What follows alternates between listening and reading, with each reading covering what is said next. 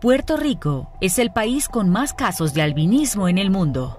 El síndrome Hermansky-Putlag es un trastorno multisistémico que se caracteriza por causar albinismo, desangramiento, problemas gastrointestinales y, en algunos casos, fibrosis pulmonar, un trastorno que causa inflamación y cicatrización de los pulmones.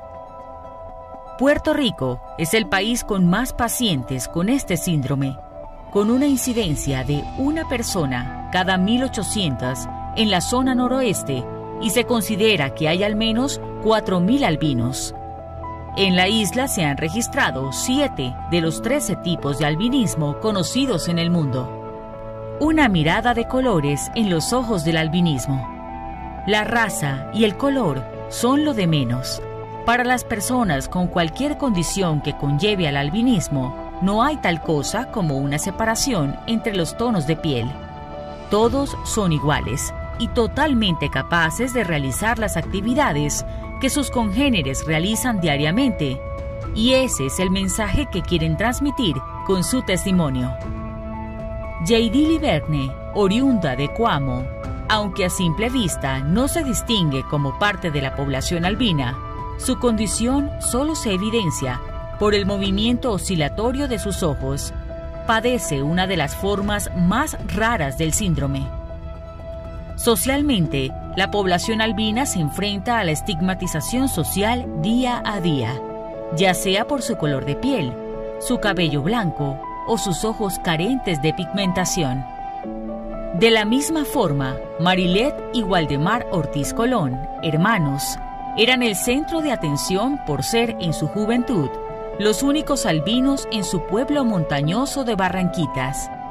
Por su condición, no pudieron evitar los problemas del sistema educativo, que no considera las necesidades de la población albina. Ricardo Rangel es un joven que, más allá del albinismo, su problema siempre ha sido su gran estatura. A pesar de esto, es físicamente frágil, debe cuidarse de los golpes o cortaduras porque podría llegar a sangrar por horas.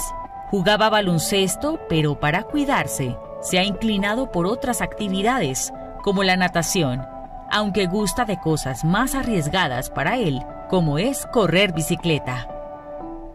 Germán Acevedo es uno de los primeros pacientes del protocolo del Instituto Nacional de la Salud NIH en Maryland que trabajan en el desarrollo de medicamentos nuevos para combatir la fibrosis. Durante su infancia, encontró una serie de dificultades para acceder a la atención médica necesaria aunque con el paso de los años, lo más complejo fue la discriminación laboral. Los mantienen las creencias de que las personas con esta condición no pueden realizar ciertas actividades.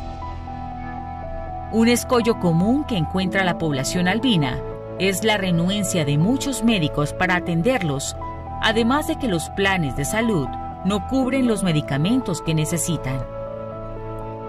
La población albina mantiene una demanda de clase contra el gobierno al considerar como discriminatoria la ley de tránsito que les impide obtener su licencia de conducir, aun cuando no se han hecho estudios para justificarlo.